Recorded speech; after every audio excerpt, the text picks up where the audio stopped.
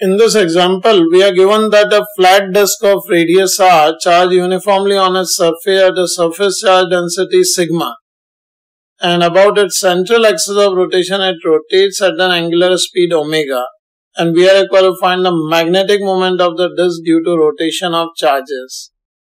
Now, in this situation, say if uh, we are given with a disk which is of uh, radius r it is charged on the surface at uh, sigma coulomb per meter square surface charge density. And if the disk is rotating or spinning at an angular speed omega, then due to rotation of all these charges, we are required to find its magnetic moment. For which we just consider an elemental uh, ring of radius x, which is of width dx, like uh, which I am drawing here in the figure then this ring will behave like an equivalent current which is also spinning and uh, if we calculate the charge on this element this can be written as sigma multiplied by 2 pi x dx because sigma is the surface charge density and 2 pi x dx is the area occupied by this elemental ring. Now if we calculate the equivalent current in elemental ring. Then this equivalent current di we can write as simply dq omega by 2 pi because dq charge is uh, uh, rotating at an uh, angular speed omega so its frequency will be omega by 2 pi and current is charge multiplied by frequency. So here uh, using this current we can find out the magnetic moment of uh, element. We are talking about this elemental ring which is say dm. So this can be written as di multiplied by pi x square because the area enclosed by this current circulating current di in this element will be pi x square.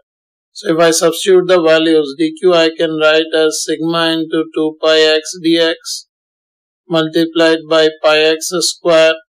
So in this situation if I substitute, uh, I have uh, just left the value of omega upon 2 pi. If we just calculate here, pi gets cancelled out, 2 also gets cancelled out. The value of dm we are getting is uh, sigma pi omega x cube dx. And uh, the total magnetic moment of this can be calculated simply by integrating this, which is integration of dm here sigma pi omega are constant, so it is integrated x cube dx from 0 to r. On integrating, you, are, you can see it will be x4 by 4 on substituting limits. We are getting 1 by 4 sigma pi omega r4. That will be the answer to this problem.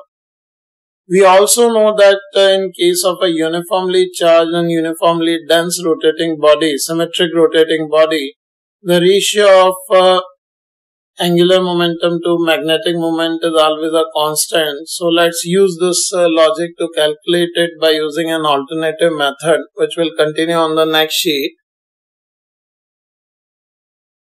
Let us solve the same problem by an alternative method. Here uh, we can write as a disk is uniformly charged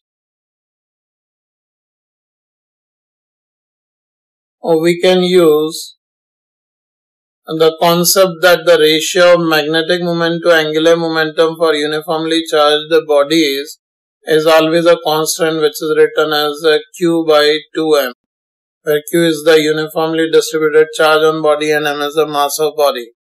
So from this expression we can say magnetic moment of a disk can be directly given as m is equals to it is q by 2m multiplied by the angular momentum. So here uh, angular momentum we can directly write as i omega.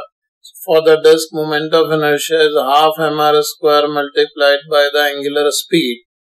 And in this expression m gets cancelled out. And the result we are getting is m is equals to 1 by 4 q omega r square and the total charge we can write as charge of disk is uh, charge density surface charge density multiplied by pi r square on the disk So if we substitute it here, we are getting it 1 by 4 sigma pi r to power 4 omega. That will be the answer to this problem which we are directly getting here.